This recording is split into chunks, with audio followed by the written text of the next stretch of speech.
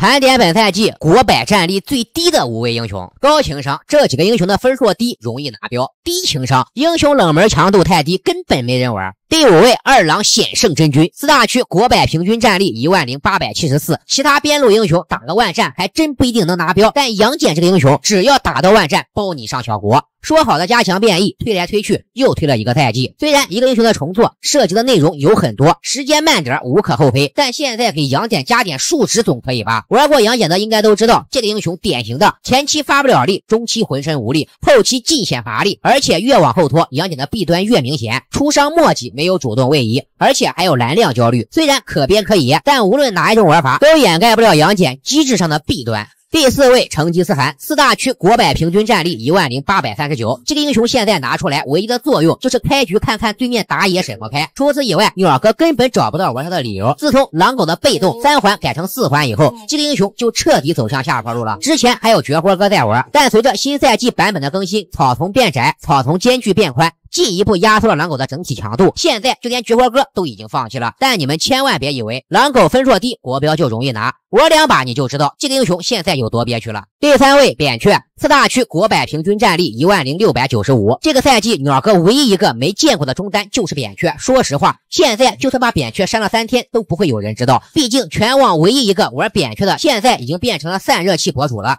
作为一个功能型法师，扁鹊一没爆发，二没控制，三没位移，不具备任何抓人能力和留人能力，被抓了也没任何脾气。虽然扁鹊的单挑能力确实很强，但实战里等你把毒叠起来，对面早就跑回家了。而且后期团战一般都是几秒下去就能分出胜负，根本不给你慢慢叠毒的机会。就这么一个英雄，却对经济的要求极高，高分段养不了 C 位，低分段又炸不了鱼，妥妥的版本陷阱。第二位金蝉，四大区国百平均战力一万零五百五十一。好消息，体验服的金蝉变异了。坏消息，き。普通人又少了一个好拿标的英雄。四大区中，金蝉在 iOS、PU 区国百最低战力只有九千八百九十七，比你们口中的原始人妲己都低了几千战力。可想而知，这个英雄现在有多难玩。金蝉玩家引以为傲的禁锢，还只是限制敌人的活动范围，和西施的牵引、甄姬的冰冻这些实打实的硬控相比，属实有点不够看，只能欺负欺负位移多的英雄。再加上金蝉整体数值上的不足，即使纯法的金蝉也不具备秒 C 能力，各种弊端加起来，导致玩家的数量极剧锐减。不过新版金蝉，大家还。还是值得期待的。想要了解的同学可以翻翻鸟哥往期视频。第一位盾山四大区国百最低平均战力九千八百一十四。盾山不只是国百战力最低的英雄。甚至国五十、国十，就连国一盾山的分数都是倒数第一，可以说遥遥领先其他英雄。现在看到还有人无脑搬盾山，鸟哥就绷不住。不是哥们儿，现在都啥时候了，还活在 S 十八赛季长臂猿大战吸血棒的版本呢？这么多三体人辅助放着不搬，你搬个不会说话的石头，而且很多时候盾山能发挥的作用比瑶妹还低，反而对面拿了还好打一些。由于搬力的原因，拿盾山小国可能有点困难，但拿个金泰丹的省标还是没有任何难度的。盘点王者被策划一刀砍进下水道的英雄。第一位暗信，自从当年法球流爆火以后，暗信的强度达到史无前例的巅峰，那是一路火花带闪电，从百草园直接砍到三位数屋，一个人疯狂电熄了前置，对面野区我的家红蓝 buff 全归他。后来因为一把破电刀，暗信连续挨了好几刀，特色都快砍没了。结果电刀削弱了，暗信还不回调。新赛季好不容易凑起了攻速鞋的红利，结果策划马上砍了攻速鞋。好家伙，合着这么多年，策划是专盯着暗信砍呀！尽管被策划一顿把玩，但暗信玩家始终没有怪策划，至今还在认为是自己的打法出了问题。更有一部分暗信 UP 主还在不停的开发新出装，研究新打法。巅峰产生虚伪的拥护，黄昏见证忠诚的信徒。第二位蓝，巅峰时期的蓝有多强，不用鸟哥多说了吧？吹的蓝单挑可能打不过你，但如果对面来两个以上，蓝轻松松随便吊打，没有任何一个英雄打团抢到过巅峰时期的澜。只能说当时有多风光，现在就有多狼狈。目前澜的胜率已经登顶了全分段打野三榜胜率倒数第一，强度有望赶超妲己。现在澜的问题不仅是前期强度不够，在没有绝对经济碾压的情况下，中后期切飞能力也比不上主流打野。蓝的强度全靠二技能支撑，二技能一砍手感极其的便秘。如果你认为自己的本命英雄强度偏低，那么不妨体验一下现版本的蓝。第三位沈梦溪，当一个英雄白送皮肤的时候，你们就应该知道这个英雄现在到底有多冷了。如今的沈梦溪已经位居全英雄胜率倒数第一了。沈梦溪能有今天，全靠去年大招挨了一刀。当年加强沈梦溪二技能的时候，我就知道这个英雄肯定会削，就是没想到会削这么狠。策划只需要略微出手，就能让一个英雄彻底的失去大招。沈梦溪大招的延迟爆炸，延迟那是真的高，对面就算得了老年痴呆也能反应过来。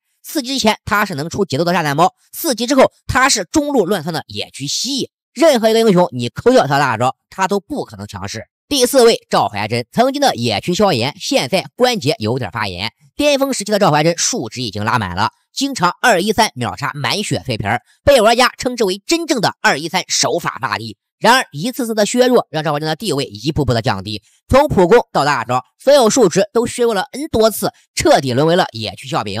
鲁迅曾说过一句话：“当一个英雄的数值需要到临界点了以后，这个英雄将彻底退出历史舞台。”不过，有不少召唤阵玩家表示，如果野区待不下去了，那我就去砸辅助玩家的饭碗，走辅助的路，让辅助无路可走。不过有一说一，这玩意打辅助上限是真的高。第五位姜子牙，新版姜子牙对比老版姜子牙，无论是一技能的减速和减双抗，还是二技能的延迟时间和控制效果，以及大招的距离和伤害量，旧版姜子牙绝对要完胜新版姜子牙。虽然重做的不尽人意，但好在刚改版的时候强度还算可以，后面一二技能各砍一刀就不行了。现如今飞天遁地的英雄实在太多了，姜子牙本身没有任何保命技能，再加上腿短、地图大、疾跑鞋移速的降低，很容易成为对面刺客的提款机。除了稍微占点米莱迪的便宜，鸟哥根本想不到玩他的理由。你们还知道哪些英雄被策划亲手砍进下水道吗？欢迎讨论呀！鸟哥就先行告辞。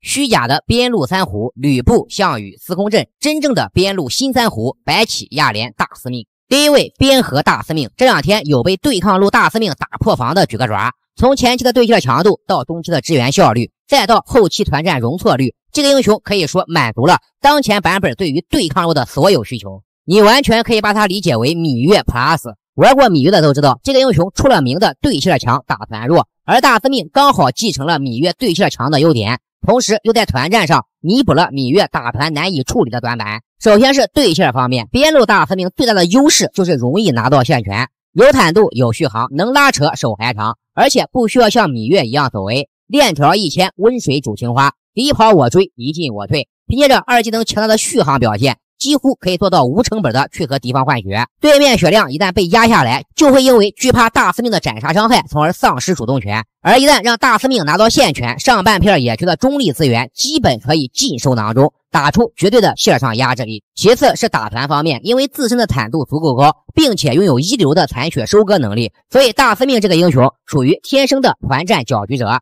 一技能独特的支援模式。各个时期的玩法不受任何限制，打团期间一技能往敌方后排滑，随时保持一副准备进城的姿态，给予敌方后排压力。第二位亚莲，其独特的霸体机制以及无视地形的大招，让亚莲成为了全体后排的噩梦。如今你在对抗路很难找到一个出着一身坦装还能制霸边路无脑贴地的英雄了。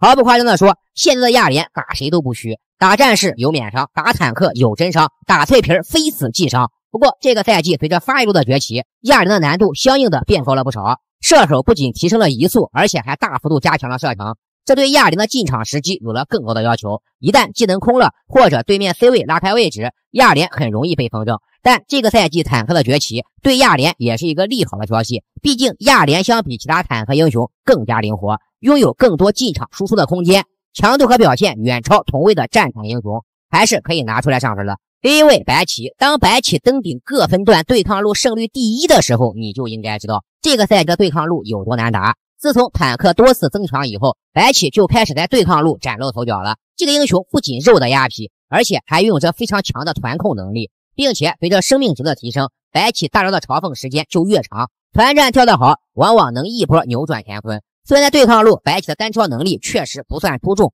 反观克星还排了一大队，但这一切都不重要。毕竟白起这个英雄不需要自己单打独斗带出节奏，往往能做到自保就行。由于白起的控制欲很强，只要打野和中单支援过来，就能轻松的击杀对手。所以白起的胜率高，不是证明这个英雄有多强，而是现版本白起的表现真的很稳。